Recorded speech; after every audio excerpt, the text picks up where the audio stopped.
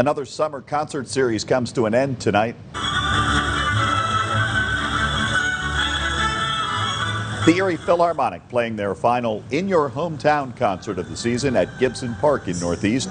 The Philharmonic playing 15 different shows this summer at different spots all over Erie County.